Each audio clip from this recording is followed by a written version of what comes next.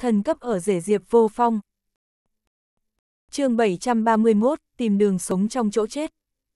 Vì vậy, vẫn cần phải đề phòng vết thương của Hồng Á Phương bị nhiễm trùng, dù sao dưới sự truy sát của nhà họ Triệu, môi trường họ đang ở đã rất xấu, rất dễ xảy ra nhiễm trùng vết thương. Du Kinh Hồng lúc này đang xem thông tin trên điện thoại, theo thông tin đưa ra của bên trên thì nhà họ Triệu đã hoàn toàn kiểm soát mọi thứ ở Tây Sơn, ngay cả những người của chính phủ cũng hầu hết là người nhà họ Triệu. Chính vì điều này mà Du Kinh Hồng không thể nhúc nhích được một tấc, như thể đối phương có một đôi mắt ở khắp mọi nơi.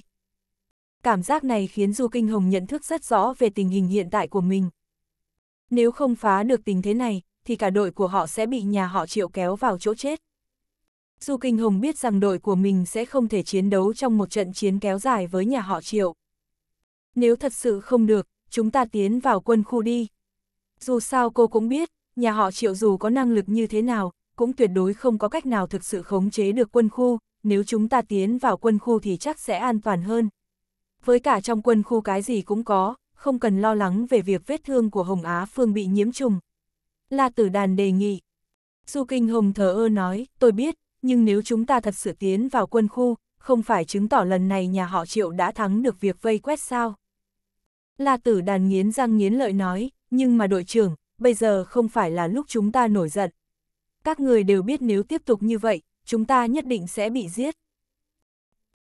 Audio điện tử võ tấn bền. Du Kinh Hồng chỉ bình tĩnh nói, đừng lo lắng, tôi biết, nhưng bây giờ không phải là lúc rời đi, các người đều cho rằng chỉ có nhà họ triệu vây công chúng ta, nhưng không biết rằng ngoài nhà họ triệu còn có những người khác đang lặng lẽ hành động, tôi muốn vạch trần nhóm người này. La Tử Đàn và những người khác đều rất kinh ngạc, họ không biết làm sao Du Kinh Hồng biết chuyện này, nhưng họ hoàn toàn không hề phát hiện ra. Còn có một nhóm người nữ ư, hiện tại chỉ một nhà họ triệu mà chúng ta đã không thể làm gì rồi. Nếu có một nhóm người khác nữa, không phải chúng ta sẽ cùng đường sao? La Tử Đàn tò mò hỏi. Du Kinh Hồng gật đầu, đúng vậy, vẫn có một nhóm người nữa. Trong số những người lần trước bao vây, chân áp chúng ta, có một nhóm người không phải do nhà họ triệu phái tới, bởi vì phương hướng bao vây, chân áp của hai bên khác nhau, và điều quan trọng nhất là dường như bọn họ sắp ra tay rồi. La tử đàn kinh ngạc nói, đội trưởng, khi trận chiến diễn ra ác liệt, làm sao cô còn có thể nhận ra chuyện như vậy chứ? Du Kinh Hồng thờ ơ nói, không có gì cả, nếu chúng ta còn không biết kẻ thù là ai, thì chúng ta không có cách nào bảo đảm an toàn cho bản thân, ít nhất chúng ta cần biết kẻ thù của mình có bao nhiêu và chia thành bao nhiêu nhóm. La tử đàn gật đầu, nhưng nếu có một thế lực khác muốn tấn công chúng ta, vậy thì tình huống của chúng ta sẽ càng nguy hiểm hơn. Du Kinh Hồng nói, chắc chắn đối phương biết cách duy nhất của chúng ta bây giờ là tiến vào khu vực quân sự, vì vậy họ sẽ không để chúng ta làm loại chuyện dễ dàng như vậy, họ sẽ chặn chúng ta ở giữa. Du Kinh Hồng hiểu đối phương chắc hẳn biết rằng nếu bọn cô tiến vào khu vực quân sự thì tuyệt đối an toàn, bất kể đối phương là ai hay tổ chức nào, cũng không có cách nào chống lại quân khu Hoa Hạ. Dù sao thì trong quân khu Hoa Hạ đều có vũ khí hạng nặng, không cần biết đối thủ là ai, mở xe tăng phóng đạn đạo, tất cả đều sẽ chết. Vì vậy, dù là lính đánh thuê mạnh đến đâu, nếu binh khí không bằng thì cũng không cách nào đánh bại được quân đội Hoa Hạ, dù sao thì không bột đố gột nên hồ. Du Kinh Hồng suy nghĩ một chút rồi nói, lúc này, chúng ta đang đi một hướng mà bọn chúng không ngờ, đó là sẽ che giấu bóng dáng của chúng ta, nên nếu chúng muốn bao vây chúng ta lần nữa cũng rất khó, dù sao từ khi biết bên chính phủ và nhà họ triệu thông đồng, tôi đã yêu cầu Hồng Á Phương điều chỉnh camera giám sát của toàn bộ Tây Sơn rồi. Hồng Á Phương nở một nụ cười nhàn nhạt thiếu sức sống, đúng vậy, tuy loại chuyện này tương đối khó, nhưng tôi đã cài đặt một phần mềm trong hệ thống giám sát của họ. Chỉ cần là nơi chúng ta đi qua, màn hình sẽ tự động thay đổi. Hồng Á Phương quả thực là một thiên tài, xâm nhập hệ thống khiến người ngoài không thể biết dễ như vịt gặp nước, đương nhiên bọn họ cũng biết Hồng Á Phương có năng lực như vậy là bởi vì cô ta có liên hệ với mạng lưới của Cục Hồng Thuẫn. Nếu đó là một máy tính không được kết nối với Cục Hồng Thuẫn, muốn thay đổi nội dung của các hệ thống giám sát này, cần phải crack rất nhiều thứ, và nhiều bức tường lửa không có cách nào bẻ khóa được cả. Du Kinh Hồng suy nghĩ một chút rồi nói, hiện tại chắc là bọn họ sẽ đoán chúng ta đến quân khu, cho nên chúng ta sẽ cố tình không tiến vào quân khu, chỉ cần tiến vào nội thành, bọn họ nhất định sẽ không dễ dàng tìm được chúng ta. Ý tưởng của Du Kinh Hồng rất đơn giản, danh tính của họ có thể thay đổi bất cứ lúc nào, chỉ cần không ai nhận ra họ thì họ sẽ an toàn ở Tây Sơn. Du Kinh Hồng không có ý định vào khu quân sự, nếu vào khu quân sự, mặc dù có thể đảm bảo an toàn cho bản thân, nhưng sẽ bị nhà họ triệu nhìn chằm chằm cho đến chết. Một khi ra khỏi khu vực quân sự, bọn họ sẽ bị nhà họ triệu biết được, nhà họ triệu có thể ra tay thủ tiêu bọn họ, bọn họ sẽ không có cách nào tiếp tục nhiệm vụ được. Vì vậy, Du Kinh Hồng không có ý định để đội của mình rơi vào tình cảnh như vậy. Tất nhiên đám người La Tử Đàn đã hiểu, La Tử Nghiệp nhanh chóng nói, lão đại, chúng tôi biết rồi, chỉ cần cô đưa ra quyết định là được. Du Kinh Hồng gật đầu, được rồi, chúng ta tiến vào nội thành trước. Tôi sẽ bảo Cục Hồng Thuẫn giúp chúng ta giải quyết vấn đề danh tính.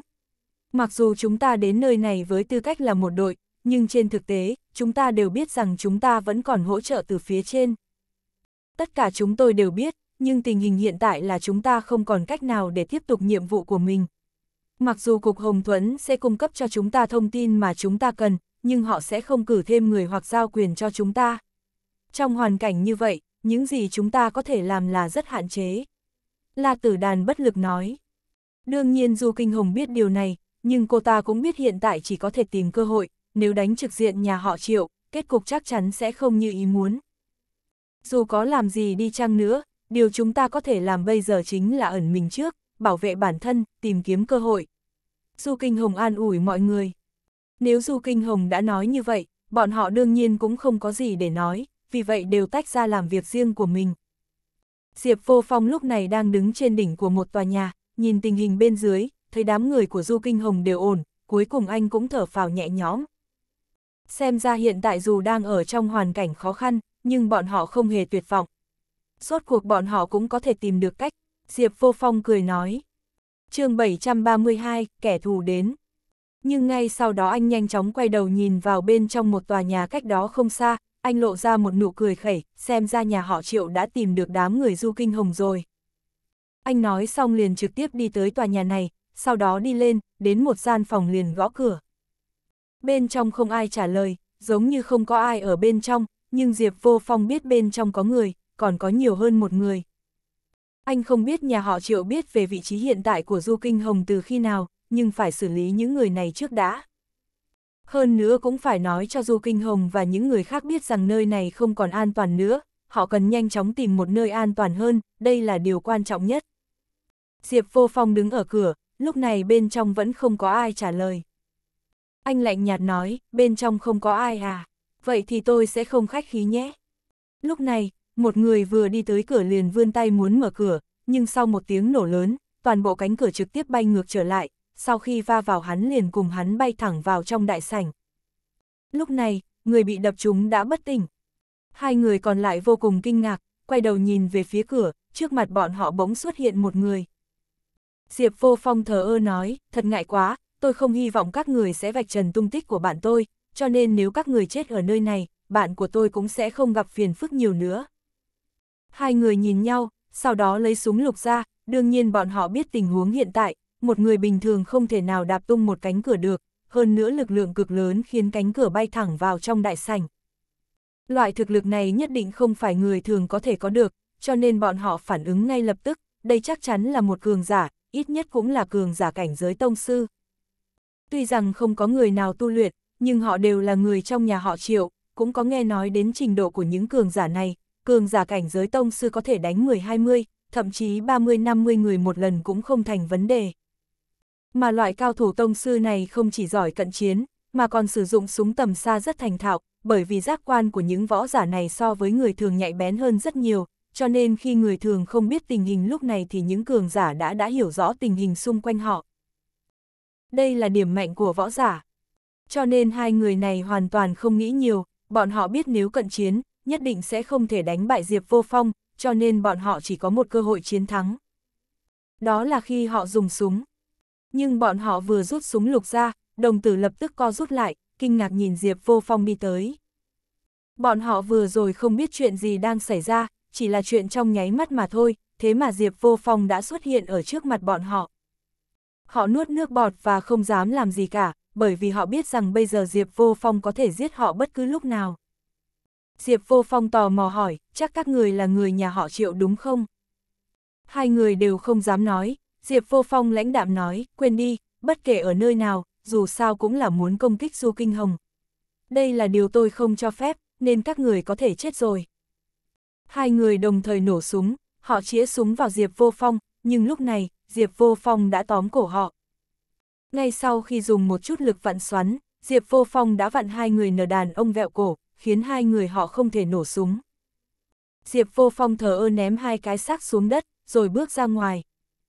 Đợi một lúc, dù Kinh Hồng và những người khác cũng phát hiện ra tình hình bên ngoài, vài người cảnh giác cao độ quan sát, tất cả những gì họ thấy là hai cái xác đã được mang xuống. Du Kinh Hồng cau mày, nhanh chóng nói với những người khác, chúng ta cần phải rời khỏi nơi này, ở đây không còn an toàn nữa. Những người khác nghe vậy có chút khó hiểu, là tử đàn chỉ vào hai cái xác hỏi, là bởi vì hai cái xác đó sao? Du Kinh Hồng gật đầu, mặc dù không biết ai đã giúp chúng ta giải quyết hai người đã tìm thấy chúng ta này, nhưng chúng ta không thể chắc chắn rằng họ có báo cáo cho bên trên hay không, nếu như báo cáo thì người nhà họ triệu sẽ lập tức chạy tới đây ngay.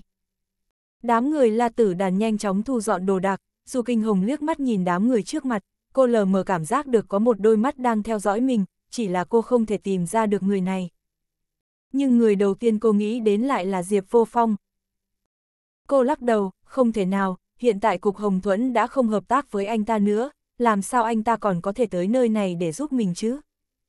Cô cắn môi và lập tức bước ra ngoài. Ngay sau khi họ lái xe rời khỏi khu chung cư, đám người du kinh hồng phát hiện có hơn một chục chiếc xe ô tô đang lái vào khu chung cư, hơn nữa chẳng có chiếc xe nào thuộc sở cảnh sát cả. La tử đàn rất kinh ngạc nói, thật đúng là như lời cô nói, lão đại, người của nhà họ triệu thực sự đến rồi. Du Kinh Hồng lãnh đạm nói, hiện tại trước tiên cứ rời khỏi nơi này, chúng ta cần phải tìm một chỗ đột phá. Lộc thâm lâm lúc này không lên tiếng, bởi vì anh ta cũng biết tình hình hiện tại là như thế nào, nhưng khi nghe tin Du Kinh Hồng định sẽ trốn trước, anh ta rất không vui. Phải biết rằng anh ta không muốn cứ ở lại Tây Sơn mãi như thế này, nhiệm vụ của anh ta là giám sát cục Hồng Thuẫn, nhưng anh ta luôn nghĩ rằng đây chỉ là một nhiệm vụ ngắn hạn, vì vậy việc anh ta phải làm là để cho cục Hồng Thuẫn nhanh chóng hoàn thành nhiệm vụ này rồi quay trở lại báo cáo công việc. Nhưng bây giờ Du Kinh Hồng lại có ý định ổn định trước, đương nhiên là khiến anh ta không vui rồi. Anh ta vội vàng nói, làm sao vậy, cục Hồng Thuẫn các cô chỉ có chút năng lực đó thôi à. Du Kinh Hồng liếc anh ta một cái, nhưng anh ta vẫn vô thức nói, vậy thì lúc trước các người giải quyết nhà Âu Dương và nhà họ Nguyên như thế nào, tôi không hiểu, ba gia tộc lớn đều do các người giải quyết, đây là gia tộc cuối cùng còn lại, kết quả lại xuất hiện một chuyện như vậy, đúng là khiến người ta thất vọng quá rồi. Du Kinh Hồng thờ ơ nói, anh có biết tại sao chúng tôi lại sẵn sàng đối đầu với những người thuộc ba gia tộc lớn không? Đương nhiên Lộc Thâm Lâm không biết, anh ta đến Liêu Tây khá chế khi đối phó với nhà họ Nguyên, điều anh ta nhìn thấy là nhà họ Nguyên quá yếu ớt, lại bị Cục Hồng Thuẫn dễ dàng giải quyết. Du Kinh Hồng lạnh lùng nói, là bởi vì Diệp Vô Phong và công ty Hoa Cường phía sau anh ta, anh chẳng biết gì cả, chỉ biết đứng trước mặt chúng tôi chỉ tay năm ngón, tôi cũng không biết anh lấy dũng khí ở đâu mà lại đá Diệp Vô Phong ra khỏi cục nữa. chương 733, anh cũng phải đứng lên. Lộc Thâm Lâm cực kỳ không phục mà nói, ý của cô là gì? Ý của cô là toàn bộ cục hồng thuẫn của các người đều phải dựa vào Diệp Vô Phong mới có thể hoàn thành nhiệm vụ ư. Du Kinh Hồng biết Lộc Thâm Lâm rất không có lý, cho nên cũng không nói gì thêm. Đương nhiên Lộc Thâm Lâm không muốn bỏ cuộc như thế này, anh ta lớn tiếng nói, không phải Cục Hồng Thuẫn luôn nói sức mạnh của các thành viên đều là hạng nhất hạng nhì sao? Sao bây giờ cô lại nói với tôi rằng không có Diệp Vô Phong thì Cục Hồng Thuẫn sẽ không thể hoàn thành nhiệm vụ hả? Du Kinh Hồng chịu đựng tất cả những lời mắng mỏ, cô ta cũng biết cãi nhau với Lộc Thâm Lâm là hoàn toàn vô nghĩa, bởi vì họ không cùng một tổ chức, nên không ai có thể làm gì được. Mặc dù các thành viên khác của Cục Hồng Tuấn cũng rất khó chịu với Lộc Thâm Lâm và thậm chí muốn ném anh ta ra khỏi xe, nhưng họ đều biết rằng họ không thể làm như vậy, bởi vì Cục Thanh tra Quốc gia có đủ điều kiện và tư cách để khiến cho Cục Hồng Tuấn tiếp nhận điều tra, một khi tiếp nhận điều tra thì bản chất của toàn bộ sự việc sẽ khác. Đây đã trở thành một cuộc điều tra bên ngoài Cục Hồng Tuấn, và nhiều bộ ngành khác nhau sẽ được kết nối với cuộc điều tra này. Và kết quả cuối cùng chắc chắn nghiêng về phía Cục Thanh tra Quốc gia nhiều hơn. Lộc Thâm Lâm lúc này đang ngồi vào chỗ của mình, thấy không có ai tranh cãi với mình, anh ta lập tức tự đắc nói, dù sao tôi cũng không kiềm chế được nhiều như vậy nữa, nếu các người ẩn nấp trốn tránh thì tôi sẽ báo cáo với bên trên, thực lực của Cục Hồng Thuẫn cũng chỉ có như vậy, không có Diệp Vô Phong thì các người không làm gì được cả. Du Kinh Hồng nghiến răng, bất ngờ điều khiển xe trở về khu chung cư trước đó. Lộc thâm lâm kinh hãi nhìn Du Kinh Hồng, cô muốn làm gì? Anh ta đã nhìn thấy 34 người vệ sĩ đi vào nơi họ sống lúc trước, và những vệ sĩ này đều có trong tay một số khẩu súng lục. Du Kinh Hồng thờ ơ nói, không phải anh muốn chúng tôi ra tay sao? Không phải anh muốn chúng tôi đánh trực diện nhà họ triệu sao? Vậy thì bây giờ tôi sẽ đáp ứng yêu cầu của anh, nhưng toàn bộ đội của chúng tôi đều vào cuộc, anh không có lý do gì mà không vào cả, anh cũng phải là một phần của cuộc chiến. Lộc thâm lâm kinh hãi nhìn Du Kinh Hồng, nhưng Du Kinh Hồng lại nói, cho anh cầm súng lục, có thể giết thì giết, dù sao bọn họ đều là người nhà họ triệu, chính bọn họ tới giết chúng ta, chúng ta có giết bọn họ cũng không cảm thấy tội lỗi gì cả, biết không? Lộc thâm lâm lắc đầu, đương nhiên không biết mọi chuyện sẽ thay đổi như thế này. Anh ta vốn ở hậu trường, nhưng lúc này lại biến thành chiến sĩ tiền tuyến, đương nhiên điều này khiến anh ta rất lúng túng. Du Kinh Hồng nhét khẩu súng lục vào trong tay anh ta, nhưng anh ta vẫn bày ra vẻ mặt kinh hãi, cô đang đùa à? Du Kinh Hồng cực kỳ khó chịu, nói anh nghĩ tôi đang nói đùa sao? Bây giờ toàn bộ đội của chúng tôi chỉ có vài người. Nếu chúng tôi không kéo anh vào, hiệu quả chiến đấu của chúng tôi sẽ kém đi rất nhiều. Chính vì điều này mà anh cũng phải cống hiến sức mình ra, nếu anh chết trận, tôi sẽ báo cho những người trong Cục Thanh tra Quốc gia để họ truy tặng huân chương liệt sĩ cho anh. Lộc thâm lâm kinh hãi giống lên, cô đùa với tôi sao? Tôi không biết gì cả, nhất định sẽ chết trong một trận đấu súng như vậy đấy. Du Kinh Hồng nói một cách thở ơ, anh có biết chuyện gì đang xảy ra bây giờ không? Chính anh đã đề xuất người của Cục Hồng Thuẫn chúng tôi đối đầu trực tiếp với người của nhà họ Triệu. Nếu anh đã đề xuất thì không có lý do gì mà anh lại không đi, phải không? Lộc thâm lâm lúc này vốn đã rất kinh hãi, anh ta không muốn làm chuyện như vậy, vội vàng ném khẩu súng lục đi, chắp tay cầu xin, quên đi, cô vẫn nên làm theo kế hoạch của mình đi, là do tôi không biết rõ tình hình hiện tại. Du Kinh Hồng lúc này mới lạnh nhạt nói, vậy sao? Nhưng chúng ta đều đã trở về, thật sự không đi khiêu chiến bọn họ sao? Bọn họ hiện tại đang ở trước mặt, chúng tôi cũng có tự tin tiêu diệt được bọn họ. Lộc Thâm Lâm nhanh chóng lắc đầu, thực sự xin lỗi, tôi sai rồi, tôi không nên nói lời nói như vậy, cô đại nhân đừng trách kẻ tiểu nhân, nên rời khỏi nơi này trước đi, được không? Lúc này, Du Kinh Hồng hờ hững lắc đầu, không được, nếu bây giờ chúng ta không chống lại bọn họ, chúng ta quay lại lần này thật lãng phí thời gian. Tôi là người không thích lãng phí thời gian. Dứt lời, Du Kinh Hồng kéo Lộc Thâm Lâm ra khỏi xe, đám người la tử đàn đều nhìn nhau cười cười, trước đây bọn họ vẫn luôn nhịn nhục, nhưng bây giờ nhìn thấy vẻ mặt hoảng sợ của Lộc Thâm Lâm, ai nấy cũng đều cảm thấy rất thoải mái. Lộc Thâm Lâm vẫn luôn chỉ trỏ sau lưng bọn họ, lần này để cho anh ta tự mình trải nghiệm loại chuyện này, và cho anh ta biết xông lên chiến đấu là loại chuyện nguy hiểm như thế nào. Diệp Vô Phong lúc đầu cũng định rời khỏi nơi này, nhưng phát hiện đám người Du Kinh Hồng đã trở lại, anh nhíu mày không biết chuyện gì đang xảy ra. Nhưng khi anh nhìn thấy Du Kinh Hồng đang kéo Lộc Thâm Lâm, và Lộc Thâm Lâm cầm súng lục trong tay, anh đột nhiên mỉm cười và biết Du Kinh Hồng định làm gì. Không ngờ cô ta lại có lúc bốc đồng như thế, tôi còn nghĩ cô ta luôn luôn rất lý trí. Diệp Vô Phong mỉm cười lui về phía sau, nhanh chóng lui vào một căn nhà, sau đó liền đi lên mái nhà, ngồi ở trên mái nhà chờ người khác đến. Lúc này Du Kinh Hồng đã kéo Lộc Thâm Lâm đến chỗ một vệ sĩ của nhà họ Triệu, sau khi buông Lộc Thâm Lâm ra, cô ta túm lấy người vệ sĩ đó và tung một quyền, sau khi phế bỏ hai tay của tên vệ sĩ, cô mới xoay người nhìn Lộc Thâm Lâm đang cầm súng bằng cả hai tay. Giết hắn đi, nổ súng, Du Kinh Hồng nói chắc nịch. Lộc Thâm Lâm lúc này cũng không dám bắn, nếu là việc chém gió bằng miệng thì anh ta có thể thừa nhận mình rất lợi hại, nhưng loại giết người chân chính này, anh ta vẫn rất ít khi làm. Anh ta chỉ phụ trách điều tra trong Cục Thanh tra Quốc gia, và việc giết người thực sự không phải chuyện anh ta có thể làm được. Chính bởi vì có suy nghĩ như vậy, cho nên anh ta mới sợ hãi như thế, anh chỉ là một nhân viên văn phòng mà thôi. Du Kinh Hồng lớn tiếng nói, làm sao vậy, không phải anh nói muốn đánh trực diện nhà họ triệu sao? Sao còn không dám bắn, nếu không giết hắn, lát nữa hắn sẽ giết anh đấy. Lộc thâm lâm lúc này không dám nói lời nào, chỉ không ngừng lui về phía sau. Bọn họ ở chỗ này, một vệ sĩ nhanh chóng tìm thấy Du Kinh Hồng và Lộc Thâm Lâm, anh ta giơ khẩu súng lục lên, trong khi Du Kinh Hồng chộp lấy khẩu súng của Lộc Thâm Lâm và đẩy anh ta ngã xuống đất.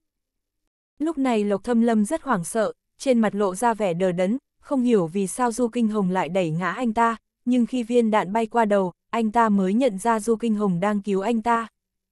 chương 734, không có bằng chứng. Du Kinh Hồng đã bắn một phát súng và trực tiếp giết chết tên vệ sĩ đó, nhưng sự việc ở đây nhanh chóng thu hút sự chú ý của những vệ sĩ khác. Còn có viên cảnh sát đang xử lý hai cái xác ở đằng kia, tất cả đều kinh ngạc nhìn nhau, âm thanh vừa rồi chắc chắn là tiếng súng lục. Chuyện gì đã xảy ra thế? Chắc là đã có cuộc ẩu đả bằng súng, hãy cẩn thận. Vài cảnh sát rút súng lục và thận trọng đi về phía trước, tiếng súng vang lên ở con phố đối diện với họ, và họ vẫn không biết chuyện gì đang xảy ra. Bọn họ không ngừng tiếp cận, nhưng ngay sau đó, một vệ sĩ đã rút lui về phạm vi mà họ có thể nhìn thấy, chỉ thấy tên vệ sĩ đang hoảng sợ nhìn các sĩ quan cảnh sát, và những sĩ quan cảnh sát này đều dơ súng lục lên. Đáng tiếc là tên vệ sĩ còn chưa nói được lời nào, đầu của hắn ta đã bị một viên đạn bắn xuyên qua. Máu tươi loang lổ khắp mặt đất, mấy cảnh sát khác hốt hoảng giơ súng lên, không biết bây giờ tình hình là như thế nào. Một cảnh sát nhanh chóng lấy điện thoại di động ra, anh ta biết nơi này đang xảy ra vụ án đấu súng, cần phải huy động cảnh sát đặc nhiệm để xử lý. Sau khi Du Kinh Hồng bắn chết mấy tên vệ sĩ, cô trả lại khẩu súng lục cho Lộc Thâm Lâm và thờ ơ nói, tôi không có nhiều thời gian để quản anh đâu, anh phải tự bảo vệ mình, đạn trong khẩu súng này bây giờ còn khoảng 5 viên, anh tự tính toán mà dùng. Lộc Thâm Lâm còn chưa kịp phản ứng, vẫn còn ngạc nhiên trước sức mạnh vừa rồi mà Du Kinh Hồng thể hiện, sau khi đến Liêu Tây, anh ta đã chứng kiến cảnh nhà họ Nguyên bị diệt vong ngay trước cửa nhà họ Nguyên, một màn chiến đấu trước đó anh ta đều không biết, cũng không lĩnh hội được. Vì vậy, đây là lần đầu tiên anh ta trải qua tình huống này, và anh ta cũng coi như biết rằng không phải tất cả mọi nơi ở Hoa Hạ đều an toàn. Anh ta rất khó hiểu tại sao những vệ sĩ này lại cầm súng trong tay, phải biết rằng thứ này bị cấm ở Hoa Hạ, có người cầm súng, loại tội này rất nghiêm trọng. Lộc Thâm Lâm vẫn rất hoảng sợ, tuy rằng trong tay có súng, nhưng người chưa từng bắn súng bao giờ lại bảo dùng súng để phòng thân, đương nhiên anh ta không thể làm được. Du Kinh Hồng bấy giờ mới thở ơ đi về phía trước, cô biết đây chỉ là nhóm người đầu tiên tới bao vây chân áp, còn có nhiều kẻ địch đang xông tới đây. Lúc này Diệp Vô Phong đang ngồi trên mái nhà quan sát trận chiến bên dưới, nhà họ triệu tuy đông người nhưng anh cũng biết đội của Du Kinh Hồng có thể dễ dàng đối phó với đám vệ sĩ này. Anh quay đầu nhìn một con phố khác, ở con phố này có 20-30 người đang cầm súng tiểu liên, bọn họ đang lao về phía Du Kinh Hồng, điều bọn họ muốn rất đơn giản, đó chính là tấn công nhóm Du Kinh Hồng trước khi đám vệ sĩ tập hợp lại. Khi những người này đi qua con hẻm giữa các tòa nhà, Diệp Vô Phong từ trên cao nhảy xuống, sau khi tiến vào đám người, con dao găm trên tay anh lập tức phóng ra ngoài. Trong lúc nhất thời, có tiếng súng và tiếng la hét vang vọng trong cả con hẻm. Các nhân viên cảnh sát đang cẩn thận quan sát tình hình trận chiến bên phía Du Kinh Hồng đột nhiên nghe thấy tiếng súng phát ra từ ngõ hẻm của Diệp Vô Phong, toàn thân ai nấy cũng đều run lên. Họ cảm thấy như thể đang ở trong một chiến trường, tiếng súng nổ khắp nơi, giống như họ đang bị bao vây vậy. Đương nhiên trong lòng bọn họ sẽ rất sợ hãi, dù sao phía trước có tiếng súng, phía sau có tiếng súng, quan trọng nhất là bọn họ vẫn không biết ai đang cùng ai đánh nhau. Diệp Vô Phong làm xong những chuyện này, vỗ tay đi ra ngoài, anh đã mở ra một khe hở, nếu đám người du kinh hồng muốn rời đi thì tuyệt đối rất đơn giản, anh cũng không cần ở lại nơi này nữa. Du Kinh Hồng lúc này cũng phát hiện ra mặc dù liên tục có kẻ địch tới, nhưng có một phương hướng không có kẻ địch tới, cô kéo Lộc Thâm Lâm đã gục xuống, nói với các thành viên trong đội, đi theo tôi. La tử đàn vội vàng nói, đội trưởng, tuy rằng không có địch nhân từ nơi đó tới, nhưng có thể là cảm bẫy không? Du Kinh Hồng lắc đầu và nói, nếu là một cái bẫy thì tôi sẽ biết, nhưng bây giờ nó không giống như một cái bẫy, tôi khá chắc chắn về điều đó. Sau khi nói xong, cô ta đưa Lộc Thâm Lâm đi phía trước, còn La Tử Đàn và những người khác liên tục áp chế hỏa lực của đối phương từ phía sau. Mặc dù kẻ thù có dũng khí giết đám người Du Kinh Hồng, nhưng họ lại phát hiện mình không thể làm được điều đó. Điều họ có thể làm bây giờ là từ từ tiếp cận, chỉ cần vẫn còn ở trong vòng vây, Du Kinh Hồng và những người khác sẽ chắc chắn bị họ bóp cổ. Nhưng họ nhanh chóng phát hiện ra đám người Du Kinh Hồng đã tìm thấy lối ra, vòng vây của họ đã có kẽ hở. Khi đi đến con hẻm giữa các tòa nhà và nhìn thấy những xác chết nằm trên mặt đất, là tử đàn đã rất kinh ngạc, lão đại, đây là... Du Kinh Hồng lắc đầu, tôi không biết, nhưng xem ra có người đang giúp chúng ta, mau rời khỏi nơi này thôi. Cô tiếp tục dẫn đầu đoàn người đi về phía trước, chẳng mấy chốc đã đến một con đường, lúc này trước mặt bọn họ xuất hiện một chiếc xe, cửa xe cũng đang mở. Du Kinh Hồng vào xe mà không chút do dự, khởi động xe, trực tiếp rời khỏi nơi này. Lộc Thâm Lâm lúc này toàn thân ướt đẫm mồ hôi, trận chiến vừa rồi khiến anh ta sợ đến mức hồn bay phách lạc, cho dù la tử đàn liên tục phất tay trước mặt anh ta, anh ta cũng không hề phục hồi tinh thần lại. Sau khi Diệp Vô Phong trở lại thành phố thương mại, anh đã mua rất nhiều thứ ở thành phố thương mại trước khi trở về nhà họ Triệu, lúc này hai gã đi theo Diệp Vô Phong đã đứng ở cửa nhà họ Triệu. Diệp Vô Phong có chút tò mò nhìn hai người này, đương nhiên tất cả đều là giả, anh biết hai người này đang chờ anh. Quả nhiên khi Diệp Vô Phong đi tới trước mặt hai người, bọn họ đã ngăn Diệp Vô Phong lại, sau khi vào thành phố thương mại, anh đã đi đâu? Diệp Vô Phong cao mày, ý của anh là gì? Anh là ai? Anh biết tôi là ai không? Anh có biết đây là đâu không? Làm sao lại dám nói chuyện với tôi như thế hả? Hai người kia nhìn nhau, trong lòng cũng rất tò mò, mặc dù đoán được Diệp Vô Phong đã rời khỏi thành phố thương mại, nhưng họ lại không có chứng cứ. Cho nên bọn họ vốn định hù dọa Diệp Vô Phong, nhưng không ngờ Diệp Vô Phong lại kiêu ngạo như vậy. Nhân viên bảo vệ đứng bên cạnh có chút kinh ngạc khi nhìn thấy thái độ kiêu ngạo của Diệp Vô Phong, nhưng hắn nhanh chóng giải thích, hai người này là người nhà họ triệu của chúng ta, là vệ sĩ chịu trách nhiệm bảo vệ an ninh nội bộ. Lời nói của nhân viên bảo vệ khiến Diệp Vô Phong chợt bừng tỉnh, thì ra chỉ là hai người vệ sĩ thôi. Vệ sĩ có tư cách hỏi chuyện cá nhân của tôi à? Tốt xấu gì tôi cũng là phụ bếp của nhà họ triệu đấy. chương 735, phá vỡ yên tĩnh. Hai người vệ sĩ không biết làm thế nào để tiếp tục chủ đề này, cả hai đều biết rằng Diệp Vô Phong sẽ không hề bị họ dọa sợ. Vì vậy, một tên vệ sĩ tên Lương Trạch tiến đến và yêu cầu, chúng tôi phụ trách an ninh của nhà họ Triệu, vì vậy chúng tôi muốn anh cung cấp lộ trình sau khi anh đi ra ngoài. Chúng tôi cần phải biết rõ lộ trình của anh để xác định xem có người lợi dụng anh để làm một số chuyện không tốt cho nhà họ Triệu hay không. Nói xong, Diệp Vô Phong đột nhiên hiểu ra, đây là việc mỗi nhân viên đi ra ngoài đều phải làm sao. Diệp Vô Phong hỏi nhân viên bảo vệ, nhưng nhân viên bảo vệ không biết trả lời như thế nào, thậm chí còn không biết chuyện gì xảy ra, cũng không biết tại sao hai vệ sĩ lại chất vấn Diệp Vô Phong, loại chuyện này cũng hiếm khi xảy ra, nhất là ngăn người ở ngoài cổng thì lại càng không có. Lương Trạch thờ ơ nói, đây là kiểm tra ngẫu nhiên, và đây là quyền lực gia chủ giao cho chúng tôi. Diệp Vô Phong nhún vai, nếu đã như vậy thì tôi biết rồi, anh muốn biết lộ trình của tôi đúng không? Chờ chút tôi đi cất đồ rồi sẽ trở lại tìm mấy người, hoặc các người có thể theo tôi về ký túc xác một chuyến. Lương Trạch lạnh lùng nói, không thành vấn đề, vậy chúng ta về ký túc xá của anh trước đi. Chúng tôi sẽ đợi anh dưới tòa nhà ký túc xá của anh. Diệp Vô Phong ném mọi thứ vào trong ký túc xá một cách rất tự nhiên, rửa mặt thật sạch rồi mới bước xuống lầu, anh tò mò nhìn hai người lương trạch. Nhưng những biểu hiện của anh đều là giả tạo. Diệp Vô Phong suy nghĩ một chút, sau đó cười hỏi, bây giờ tôi sẽ nói cho các người về hành trình của tôi. Hai vệ sĩ không biết phải nói gì khi nghe Diệp Vô Phong nói anh vẫn luôn ở trong thành phố thương mại, bởi vì không có cách nào xác nhận chuyện này. Trừ khi phải dành chút thời gian suy nghĩ, hỏi nhân viên nơi Diệp Vô Phong đã mua thứ gì đó và để nhân viên xác nhận điều đó. Sau khi xác nhận tất cả hành trình của Diệp Vô Phong, bọn họ nhanh chóng rời đi. Diệp Vô Phong cực kỳ thản nhiên trở về phòng rồi nằm xuống ngủ. Trong phòng của Triệu Lỗi Phong, hai vệ sĩ nói ra những gì Diệp Vô Phong đã nói. Lương Trạch nói, chúng tôi đều đã hỏi thăm về hành trình mà anh ta đề cập, bức thư thực sự đã được chuyển đến, và anh ta thực sự đã dành một buổi chiều và một buổi tối ở trung tâm thương mại, hoàn toàn không hề rời đi.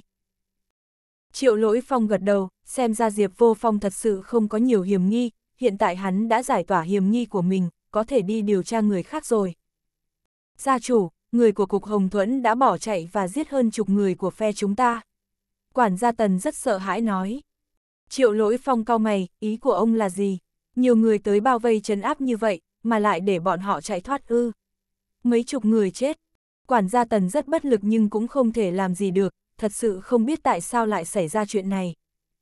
Rõ ràng kế hoạch này không chê vào đâu được, đáng lý cả đội của Du Kinh Hồng đều bị giải quyết mới đúng chứ.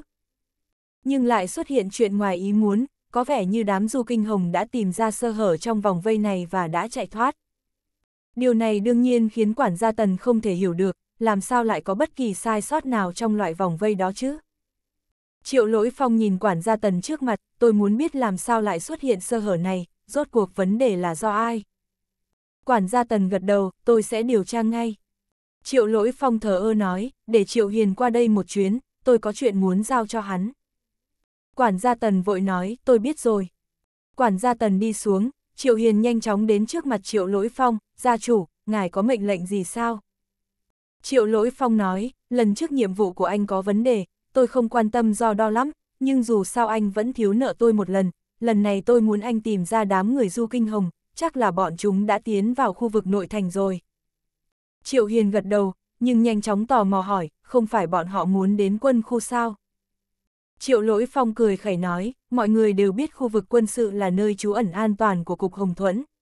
Chỉ cần người của Cục Hồng Thuẫn tiến vào khu vực quân sự là tuyệt đối an toàn, nhưng không biết rằng, nếu thật sự tiến vào quân khu, bọn họ sẽ không chiếm được ủy quyền của bên trên, như vậy thì bọn họ suốt ngày chỉ có thể ở trong quân khu, không thể động đậy một tấc. Triệu Hiền nhanh chóng hiểu ra mặc dù tuyệt đối an toàn khi vào khu vực quân sự, nhưng cũng sẽ bị theo dõi, bọn họ sẽ không thể làm gì trừ khi được bên trên ủy quyền điều động quân đội. Nhưng một điều như vậy tuyệt đối không có khả năng. Gia chủ, tôi biết rồi. Triệu Hiền vội vàng nói. Triệu lỗi phong xua tay, nếu đã biết thì có thể rời đi. Nhớ kỹ, lần này đừng để tôi thất vọng, nếu không thì tự mình biết hậu quả rồi đấy. Triệu Hiền gật đầu, sẽ không bao giờ có chuyện như lần trước. Sau khi Triệu Hiền rời đi, Triệu Lỗi Phong mở một tệp trên máy tính để bàn của mình, trong đó hiển thị tất cả những việc đã trải qua của Diệp Vô Phong và lý lịch của anh. Những lý lịch này đều rất bình thường, thậm chí bình thường đến mức khiến ông ta cảm thấy có chút không chân thực, nhưng ông ta cũng biết nếu cứ tiếp tục dây dưa như thế này thì sẽ không có tác dụng gì. Dù sao thì hiện tại sự nghi ngờ của Diệp Vô Phong đã được xóa bỏ, bao gồm cả bức thư đó và cuộc điều tra ở trung tâm thương mại, tất cả đều đã qua kiểm tra. Có vẻ như mình đã thật sự nghĩ nhiều rồi. Cậu ta hoàn toàn không có cách nào làm được loại chuyện như vậy cả, cậu ta chỉ là một người bình thường thôi. Triệu lỗi phong nói xong liền đóng tài liệu lại. Diệp Vô Phong từ trên giường đứng dậy đã là chuyện của ngày hôm sau, anh nhận được tin nhắn của Hồng Á Phương. Yên tâm đi, lão đại của chúng tôi rất an toàn. Bây giờ đã tiến vào khu nội thành, nhà họ Triệu sẽ không thể tìm được chúng tôi ở nơi phồn hoa như vậy, ít nhất là trong thời gian ngắn sẽ không thể tìm được. Khi đóng điện thoại, mọi thông tin sẽ tự động bị xóa nên anh không lo bị lộ, anh đi vào bếp và bắt đầu công việc của mình. Anh bây giờ cũng coi như là thực sự đang ẩn nấp ở nhà họ Triệu, đám người du kinh hồng cũng đang ẩn nấp trong khu nội thành, cả Tây Sơn có vẻ như đang tạm thời được yên tĩnh. Trận chiến ban đầu kết thúc một cách vội vàng, nhà họ Triệu đã áp chế toàn bộ mọi chuyện.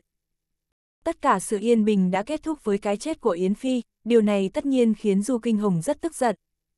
Đêm hôm đó, Du Kinh Hồng trở về chỗ ở của mình như thường lệ, nhưng nửa đêm, cô nghe thấy tiếng còi xe dưới căn nhà cho thuê, và điều cô nhìn thấy khi tỉnh dậy là Yến Phi đã ngã xuống mặt đất, đã tắt thở, trên người có một số vết thương, tất cả đều do vũ khí cận chiến gây ra.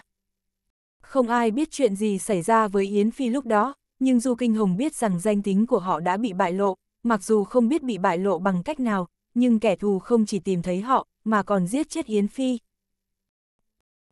Audio điện tử võ tấn bền. Hết chương 735